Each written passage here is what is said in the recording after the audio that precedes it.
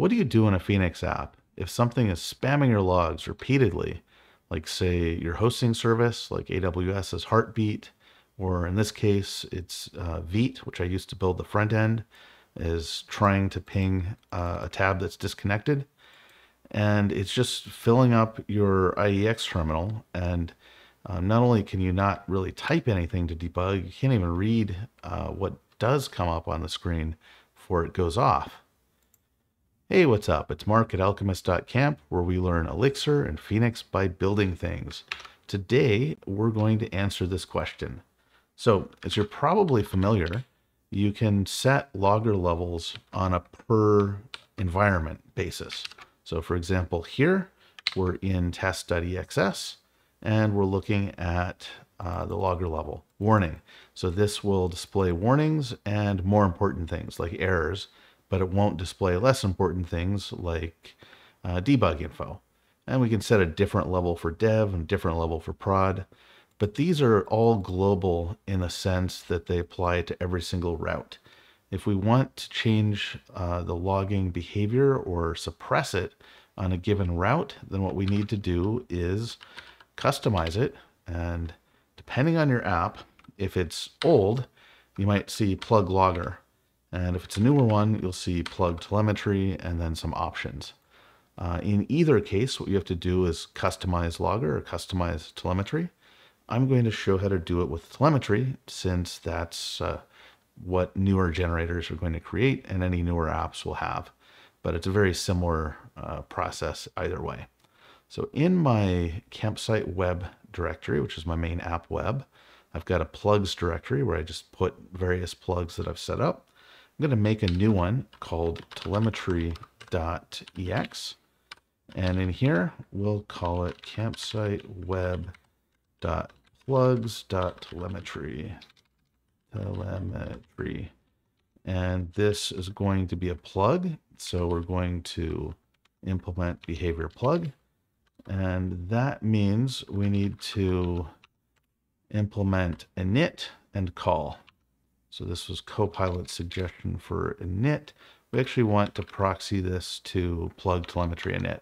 So when uh, init is called, we'll just, our function or our module will just use the init from the default plug telemetry that Phoenix has out of the box. And now we need to do call. And for call, wow, gotta say, uh, Copilot is getting more useful for Elixir than I remember it being. Um, for call, we have uh, the same thing here. We're just passing it off to plug telemetry. So this entire module as is uh, would have no effect. If we swap out plug telemetry with it, now we just have our module, but um, for init, we're using the built-in init, and for call, same thing. What we want to do, since we don't want to have exactly the same behavior, is we want to define another function head for call, and have this match the routes that uh, uh, that we care about. In this case, it's under under Vite under ping. So in fact, I think I'll leave that up just so we can see the progress as we go through this. So we want to match on the conn and we'll look at the path info. When the path info, which is a list, the first item in there is under under Vite under ping, then uh, we still need to match the conn. Then instead of passing the conn to plug telemetry call, what we'll do is we'll send a response of 200 OK. Uh, actually, just 200. So plug.conn.send resp 200, and we don't need to say anything. Then we'll halt the we'll halt the plug. So plug.conn or halt the conn, I should say halt, and that's it. We're not going to pass it off to telemetry. We're not going to do anything else. So you can see in the default case, we just let it pass through to telemetry. But if the path matches this one, then we just send OK and halt.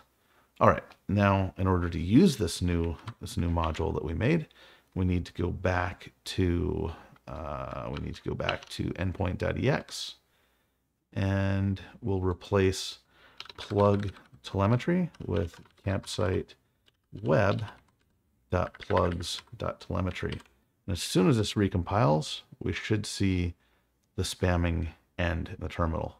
And we do. Hope you found this useful. I'll see you next time.